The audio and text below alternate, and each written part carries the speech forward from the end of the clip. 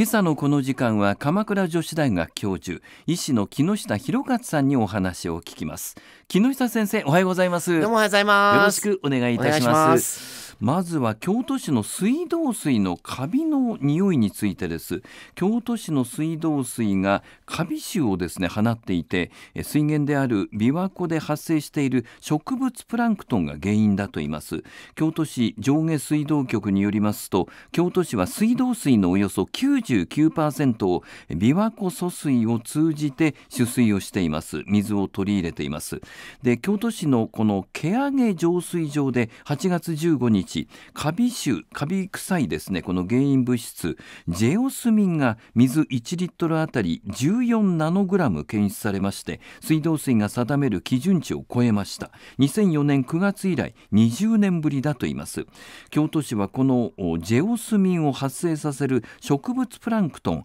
アナベナが琵琶湖の南湖で急増しているのが原因と見ています。木下先生水道水と一緒にジェオスミンこれ飲んでも健康には影響ないんでしょうか？はいこれはですね、健康への影響はありませんので、まあ、水道水は通常通りお使いいただけますと、はい、京都市上下水道局は発表しています、はい、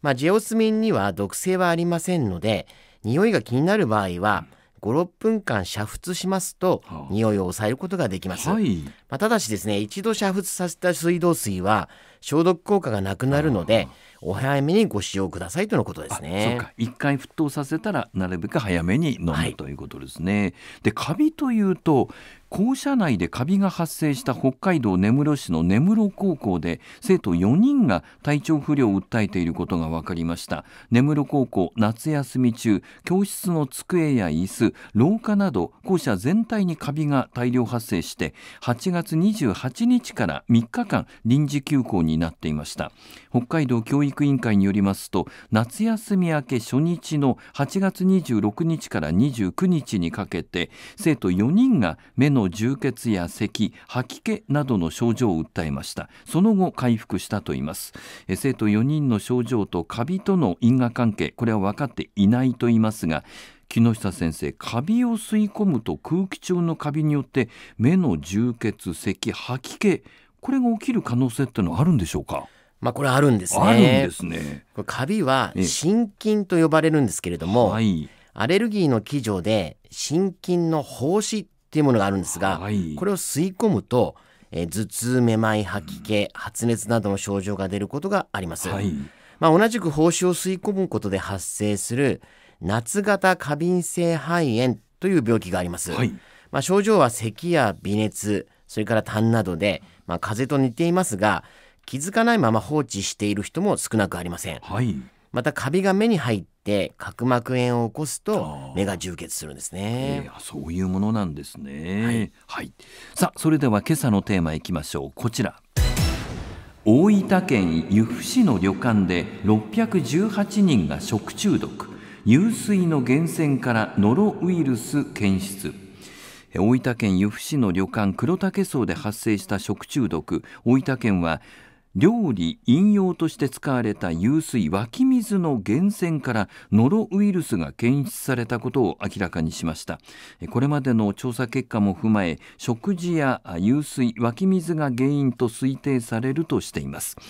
大分県庁によりますと下痢や嘔吐などの症状を訴えたのは8月29日までに少なくとも23の都府県の618人です。いずれも8月3日から12日敷地内の湧水を飲んだり湧水を使用した料理を食べていたりしたということなんですね。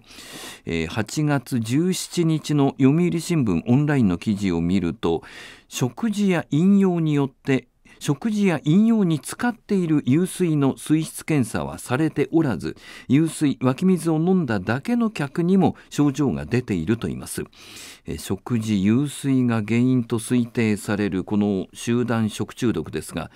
木下先生これはどうご覧になりますか？まあ、湧き水というとですね、えー、まあ、綺麗で美味しいっていうイメージがあるかと思うんですが、はい、まあ、やっぱり煮沸しないと安心できないのかなと思います。えー、そうですね。まあ、確か昨年もですね、えー、湧き水の食中毒ってあったように記憶していますね。はい、これ湧き水飲んだだけでもノロウイルスに感染する可能性ってあるんですか？まあ、これ地下水と呼ばれます、はい、湧き水や井戸水。これには感染症のリスクがあります、はい、まあ、細菌やウイルス寄生虫これが混入する場合があって大腸菌やカンピロバクター、はい、今回のノロウイルスの感染源になり得るんですね。るんですね。でそのノロウイルスと言いますと熊本県天草市の轟の滝この周辺で川遊びをした後に体調不良を訴える人が相次いだ問題です。熊本県8月27日周辺の水や患者の便からノロウイルスが検出されたと明らかにしました。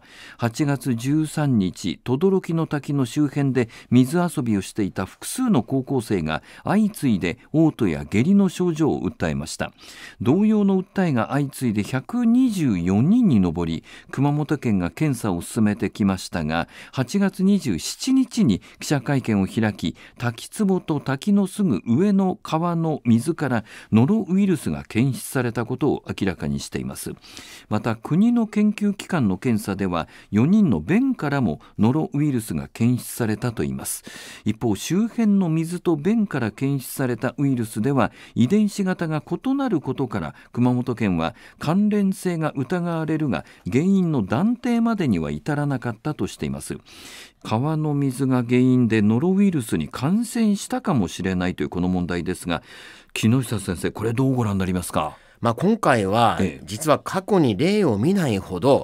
感染者やその疑いが多い事例になります。はいまあ、現実的にですね下水が入り込んだ川では、ノロウイルスが存在することはありえるんですね。はい、えー、これ川の水にはそうするとノロウイルスがいるということなんでしょうか？まあ、いわゆる通常の川にはノロウイルスがいることはないです。はい。まあ、従って川の水で手を洗ってそれで病気になることはありません。はい。まあ、今回は特殊な例で、流れが滞っている中でたくさんの人が川に入ってて誰からかノロウイルスが汚染が生じたかもしれないんですね。そういうことなんですね。となるとこれ万が一に備えて例えばこれどういうところに気をつければいいんでしょう？まず川の水の中にノロウイルス以外の細菌やウイルスがいる可能性があるので、はい、まあ、飲まない方がいいですね。飲まないまずはい、はい、それから川に入った後は流水で体を洗う、はい、うがいをする、という意識がまあいいと思いますね。今朝は鎌倉女子大学教授医師の木下博勝さんにお話を聞きました。木下先生ありがとうございました。どうも失礼しました。